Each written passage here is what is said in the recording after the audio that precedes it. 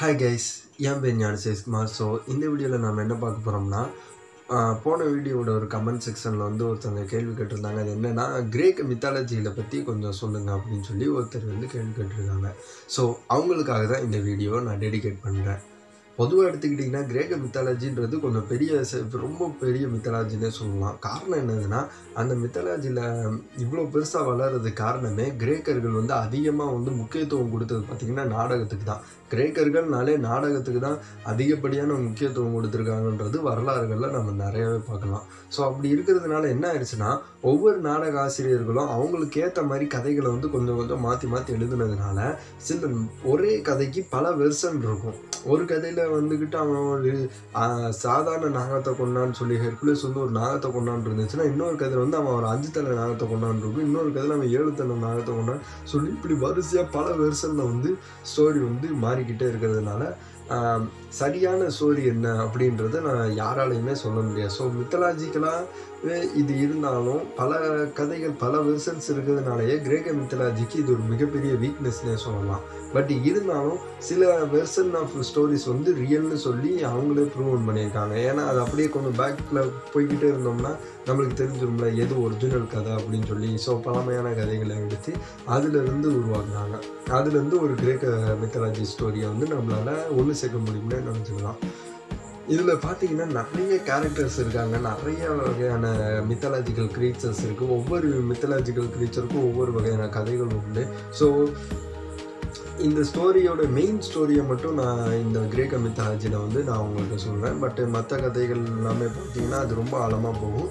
அதை பற்றி வேணும்னாலும் நான் அடுத்தடுத்த இதில் சின்ன சின்ன இடையில இடையில ஏதாச்சும் ஒரு வீடியோவில் அதை பற்றின ஸ்டோரிஸை சின்ன சின்னதாக சொல்கிறேன் ஸோ ஸ்டார்டிங் எடுத்துக்கிட்டிங்கன்னா ஃபர்ஸ்ட் ஜென்ரேஷன் காட்ஸ் அப்படின்னு சொல்லக்கூடிய கிரேக்க மித்தலாஜியில் வந்து டைட்டன்ஸ் அப்படின்னு சொல்லக்கூடியவங்க தான் இந்த டைட்டன்ஸோடைய பிறப்பு யாரோட மூலமாக நடந்துச்சுன்னா ஜியா அப்படின்னு சொல்லக்கூடியது பூமிக்கும் வீனஸ்ன்னு சொல்லக்கூடிய சொர்க்கத்துக்கும் இவங்க ரெண்டு பேருக்கும் இடையில பிறந்தவங்க தான் இந்த டைட்டன்ஸ்னு சொல்லக்கூடிய இந்த ஃபர்ஸ்ட் ஜென்ரேஷன் காட்ஸ் இவங்க எல்லாமே பார்த்தீங்கன்னா அரக்கத்தனமாக இருப்பாங்க. ரொம்ப ரொம்ப பெருசாகவும் இருப்பாங்க.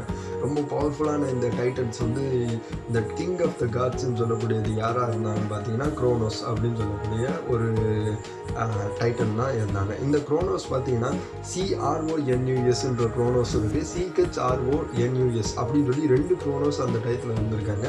பட் நிறைய மெத்தலாஜிக்கலை ஆய்வு ஆராய்ச்சி பண்ணக்கூடியவங்க வந்து இந்த ரெண்டு குரோனோஸுமே ஒன்றாவே நினச்சிருக்காங்க ஸோ நல்லா புரிஞ்சுக்கோங்க. ஒருத்தர் வந்து கிங் ஆஃப் காட்ஸ் இன்னொருத்தர் வந்து காட் ஆஃப் டைம் டைமை கண்ட்ரோல் பண்ணக்கூடிய வந்து சிஹெச்ஆர்ஓ என்யூஎஸில் வரும். அதே நேரத்தில் அந்த மொத்த டைட்டன்ஸுக்கும் ராஜாவாக இருந்தவனோட குரோனோஸ் வந்து சிஆர்ஓ என்யூஎஸில் தான் வரும். ஸோ இப்படி இருக்கக்கூடிய இந்த குரோனோஸ் அவனுக்கு கீழே ஒரு நல்ல ஆட்சி அமையுது. அவன் வந்து ஒரு ப்ரொமித்தியஸ்ன்னு சொல்லக்கூடிய ஒரு டைட்டன் கிட்ட வந்துக்கிட்டு ம மனித இனத்தை உருவாக்க சொல்கிறான் ஸோ மனித இனத்துக்கு வந்து அவன் உருவாக்கும் போது அவனுக்கு கொடுக்கப்பட்டது என்னன்னா அவங்க அழிவில்லாமல் இருக்கணும் அவங்க சந்தோஷமாக இருக்கணும் அவங்களுக்கு பசி என்னன்னு தெரியக்கூடாது. வழி எதுவும் எது பற்றியுமே தெரியாமல் ரொம்ப சந்தோஷமான ஒரு மனித இனத்தை தான் அவன் உருவாக்குறான்.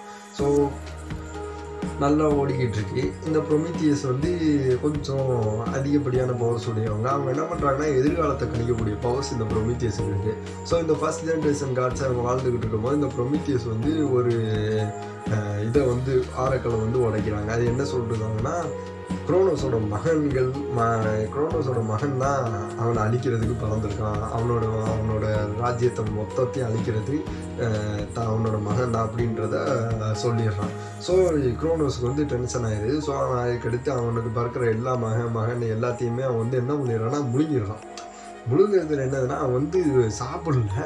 பட் இது முழுங்கிறதா சொல்கிறது என்னதுன்னா வந்து சிற பிடிச்சிடுறான் எல்லாத்தையுமே. ஒவ்வொருத்தரையாக முழுங்கி முழுங்கி அவன் வயிற்றுக்குள்ளேயே சிறை வச்சுக்கிறான். ஏன்னா அங்கே இருந்தால் தான் அவனுக்குள்ளே இருக்கிறதுனால எங்கேயும் வெளியே இருந்தால் தானே டவுட் இருக்கும். அத்தை வெளியே போயிட்டானோ வெளியே போயிட்டுப்பாங்களோ சிறை உடஞ்சிருமோ அப்படின்னு சொல்லிட்டு. ஸோ இவன் கிங் ஆஃப் காடுன்றதுனால ரொம்ப அதிகப்படியான பவர் இருக்கிறதுனால எல்லாரையுமே முழுங்கிடுவான். ஸோ இவங்க அம்மா என்ன பண்ணுறாங்கன்னா குரோனோஸோட ஒய்ஃப் வந்து என்ன பண்ணுறாங்கன்னா எப்படியும் தான் மகன் வந்து இப்படி சாகிறது விரும்பாமல் முதல் மகனான இந்த ஜூஸை வந்துக்கிட்டு காப்பாற்றி ஜியாட்ட சொல்கிறாங்க ஜியா வந்து அவங்க பாட்டி மாதிரி வரும்ல. ஸோ அந்த பாட்டி வந்து பூமி இதை தான் போட்டுறாங்க. பூமியை வச்சு நல்லா பாதுகாத்து அவங்கள அப்படியே கொஞ்சம் கொஞ்சமாக ஜூஸை வந்து வளர்த்து ஆளாக்கியாச்சு. ஆளாக்குனது ஜூஸுக்கு ஒரே ஒரு எண்ணம் மட்டும்தான் இருக்குது இந்த குரோனஸை எப்படியா சலிச்சு ஆகணும் அப்படின்ட்டு. ஏன்னா அவன் பண்ணுறது எதுவுமே சரி இருக்காது. எல்லாரையும் போட்டு சாவடிக்க ஆரம்பிச்சிருவான் பல பேர் பல டைட்டன்ஸுக்குள்ளேயே பல விதமான ச பிரச்சனைகள்லாம் உருவாக்கும். ஆனால் இவன் ஒன்றுமே செய்ய மாட்டான். ஸோ என் நிறையா தப்பு த தவறுகள் அந்த காலத்தில் நடந்துக்கிட்டே இருக்கிறதுனால ஜூஸ் வந்து ஒரு முடிவு எடுத்துருவான் தான் ம மகன் தன்னோட தங்கச்சி தம்பிகள் எல்லாத்தையுமே முழுங்கினதுனால எப்படி அவனை அழிச்சு ஆகணும்னு சொல்லிட்டு ஒரு கங்கணம் கட்டிடுறான் இந்த ஜூஸ் ஸோ இவன் என்ன பண்ணுறான்னா ஃபஸ்ட்டு எடுத்தது நேராக போய் அட்டாக் பண்ணோன்னா கண்டிப்பாக அப்போ என் சோழியை முடிச்சுக்குவான்ட்டு அவன் சாப்பாட்டில் வந்து விஷத்தை கலந்து கொடுத்துருவான். ஸோ சாப்பிடும்போது சாப்பிட்டதும் அவனுக்கு என்ன ஆயிரும்னா அவன் அடிவில்லாத பவர் இருக்கும் போல இருக்குது அந்த கிங் ஆஃப் கடுக்கு ஸோ அவன் என்ன பண்ணுறான் எல்லாத்தையும் சேர்த்து வாமிட் எடுத்துக்கிறான்.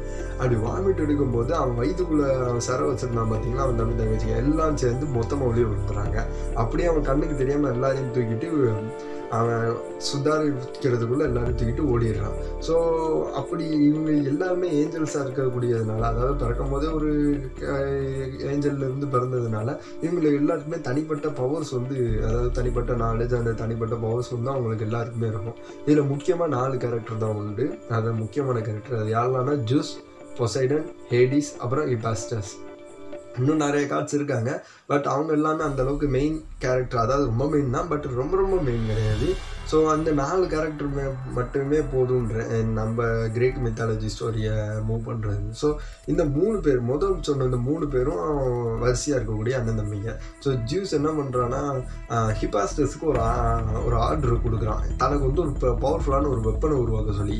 காரணம் என்னென்னா ஹிபாஸ்டஸ் வந்து எல்லா machinery puzzles and weapons armour ஸ்கில்ஸுன்னு எல்லாத்துலேயுமே அவன் அவனை வந்து பக்காவான ஒரு ஸ்பெஷலிஸ்ட் ஸோ அவன்கிட்ட கொடுத்ததான் ஃபஸ்ட்டு ஹேடிஸ்க்கு ஒரு நல்ல ஒரு பிச் ஃபோர்க் அப்படின்னு சொல்லக்கூடிய ஒரு ஆயுதத்தை செஞ்சு கொடுக்குறான். அது மட்டும் இல்லாமல் ஒரு சங்கிலியை செஞ்சு கொடுக்குறான்.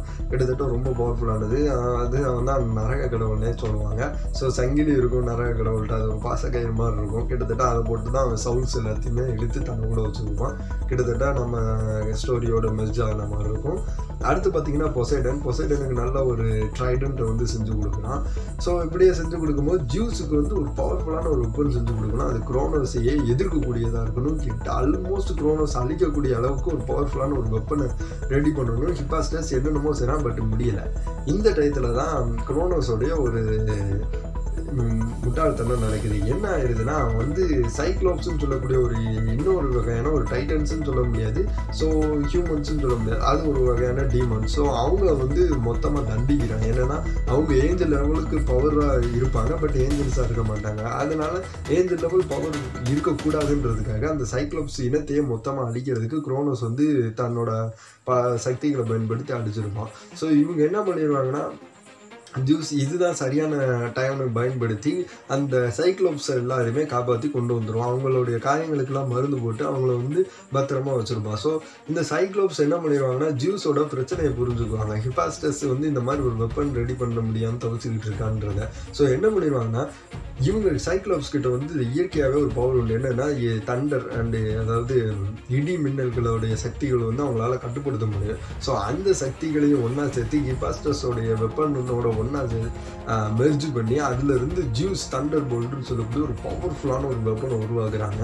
ஸோ அதை கொண்டு போய் ஜூஸ்ட்டை கொடுக்குறாங்க. ஜூஸ் அந்த வெப்பனை எடுத்ததும் ஏ- உடனே சண்டைக்கு போல் அதுக்கு அடுத்து பிளான் போடுறாங்க. ஒரு பிளான் போட்டு ஒலிம்பியன் சொல்லக்கூடிய ஒரு ஒலிம்பஸ்ன்னு சொல்லக்கூடிய ஒரு மலைக்கு கீழே தான் இவங்க வந்து இவ்வளோ பிளான்ஸ் இவ்வளோ விஷயங்களுமே நடந்துக்கிட்டு இருக்கு. இதில் பொசைடன் வந்து நைஸாக என்ன பண்ணுறான்னா அப்போ வந்து அவன் அதாவது இப்போ இருக்கக்கூடிய பொசைடன் வந்து காட் ஆஃப் சீம்பாங்க ஆனால் அந்த டயத்தில் அவன் காட் ஆஃப் சி கிடையாது. ஸோ அவன் என்ன பண்ணுறான்னா ஓசியனஸ்ன்னு சொல்லக்கூடிய காட் ஆஃப் சியா அப்போ தான் இருந்தார் ஓசியனஸ்ன்னு சொல்லக்கூடியவர் தான் கிட்டத்தட்ட அவர் ஒரு பவர்ஃபுல்லான டைட்டன் மொத்த நீர்நிலைகளுக்குமே அவன் தான் நீருக்குமே அவன் தான் ராஜாவாக இருக்கான்.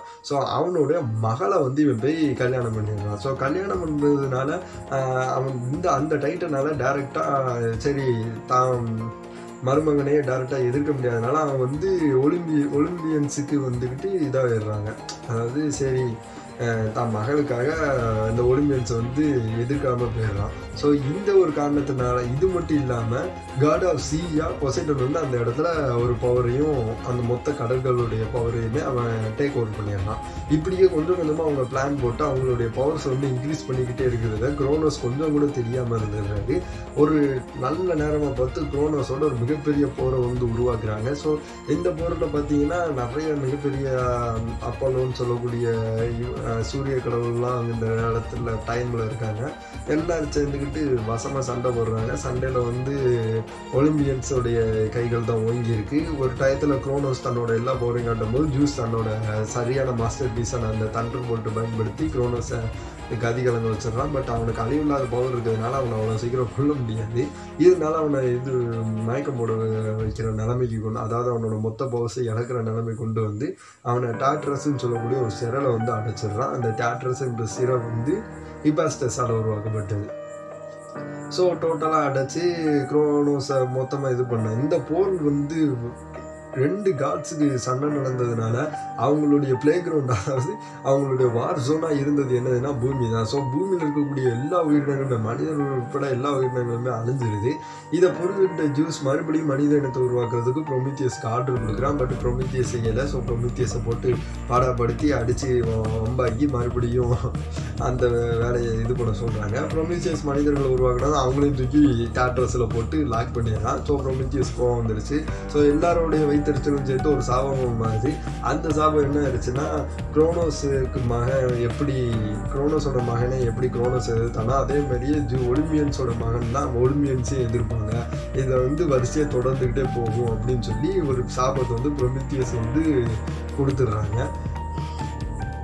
இதுக்கடுத்து ஸ்டோரிஸ் வந்து ரொம்ப இதாக மூவ் ஆகும். அதுக்கடுத்து பார்த்தீங்கன்னா மனிதர்களை என்னத்தை உருவாக்குனதும் அவங்க ப்ரொமித்தியஸ் பார்த்து பார்த்து தான் உருவாக்கியிருப்பாங்க. அழிவே இல்லாத அளவுக்கு ரொம்ப திறமை வாய்ந்ததா? இவன் என்ன பண்ணுவான்? ஜூஸ் மேலேருந்து பார்த்துட்டு சரிப்பட்டு வராதுன்ட்டு அவங்களுக்குள்ள வெறுப்பு விருப்பு வெறுப்புகளை உருவாக்கக்கூடிய ஒரு விஷயங்களை உருவாக்கி மனிதர்களை வந்து மறுபடியும் அதாவது நம்மளுக்கு வயசாகி இறக்கக்கூடிய ஒரு இதை வந்து லேட்டராக வந்து பேண்ட்ரோ பாக்ஸ் அப்படின்னு சொல்லக்கூடிய ஒரு பாக்ஸ் மூலமாக மனிதர்களுக்கு திருப்பியும் அதாவது மாற்றல்ஸாக மாற்றிடுவோம் இம்மார்டலாக இருந்த மனிதர்களை மாற்றலாக மாற்றிடுவோம் ஸோ ஏஞ்சல்ஸ் தான் எப்போவுமே இம்மார்ட்டலாக இருக்கணுன்ற ஒரு ரூலை வந்து அவன்கிட்ட அந்த இடத்துல வந்து நிர் நிர்வகிச்சிருவான் ஸோ இதுதான் கிரேக்க மித்தாலஜியோட ஒரு மெயினான ஸ்டோரி அதை தான் இப்போ ஷார்ட்டாக சொல்லியிருக்கேன். ஸோ இந்த ஸ்டோரியில் வந்து இன்னும் பல விஷயங்கள் இருக்குது அதெல்லாம் சொல்லுறது அதெல்லாம் சொன்னால் இன்னும் ரொம்ப லென்த்தியாக ஒரு ஆறு மணி நேரம் ஓட்டுற அளவுக்கு நல்ல பெரிய கதைகள் தான் இதெல்லாம் ஓடும்.